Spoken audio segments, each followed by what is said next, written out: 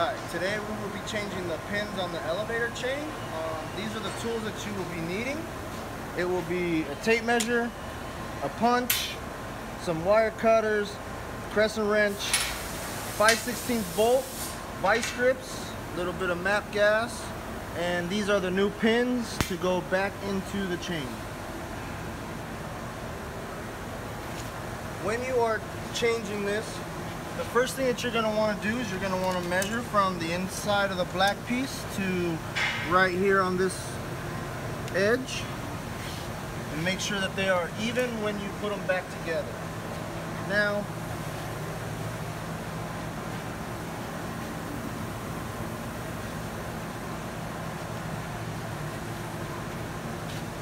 and now the first thing you have to do in order to change these pins out get the crescent wrench. You have to loosen both of these nuts. Loosen the two big nuts on both sides.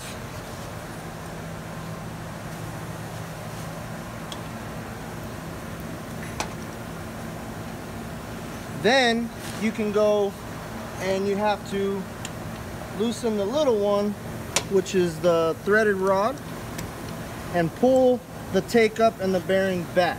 Now you have to do it evenly. You have to do a little on this side and a little on the other side so that the shaft stays straight and does not get wedged.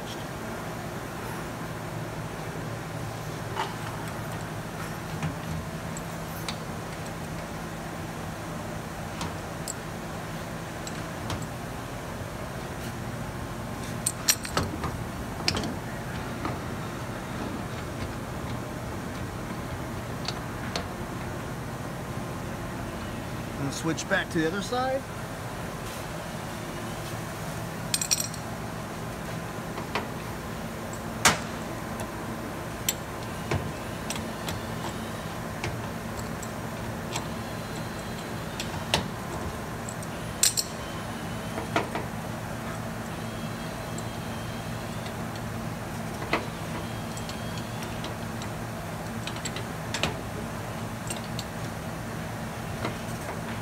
Now that they're loose, we can get our punch.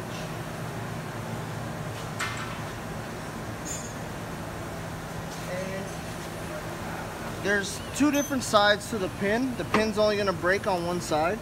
This side is the factory set side, so this is the side that will not break. You have to punch it from the other side. Just put the punch here,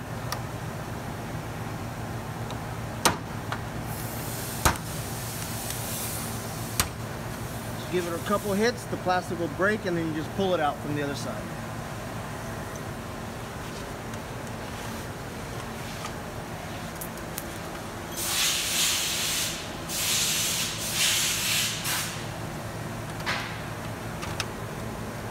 Now as you can see the chain is now completely free and in two pieces.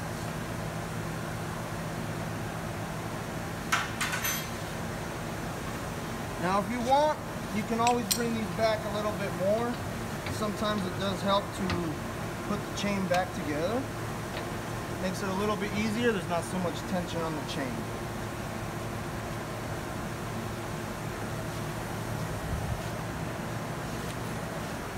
Okay, now to put the chain back together, it's pretty simple. You just pull the chain, line up, line up these back where they go, the center one doesn't have a lot of support, so it will move around. It's not a big deal. Just take it over here, and you have it up, and just kind of line it up, slide the pin in, and just keep moving sideways.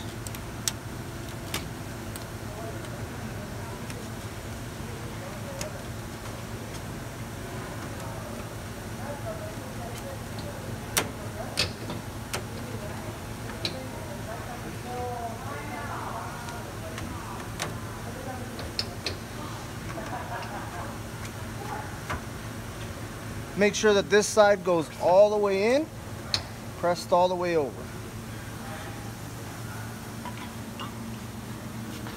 Now take your cutters, lift this up, and cut this off.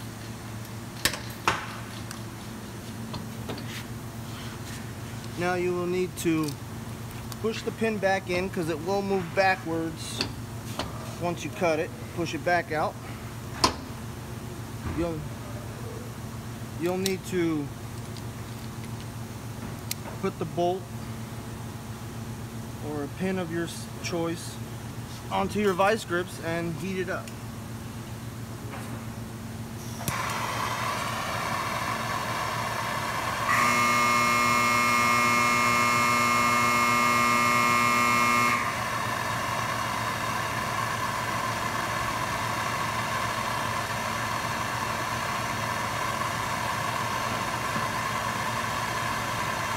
Now once your bolt is hot enough, once your bolt is hot enough, push this back up.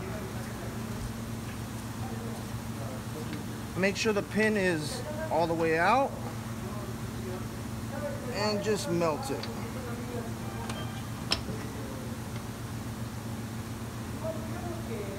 Make sure you melt it in a circular motion and you are done. Then you then you just go back, retighten these uh, take-ups back to the measurement that you took in the beginning. And when you're done, tighten this nut back so that it does not move.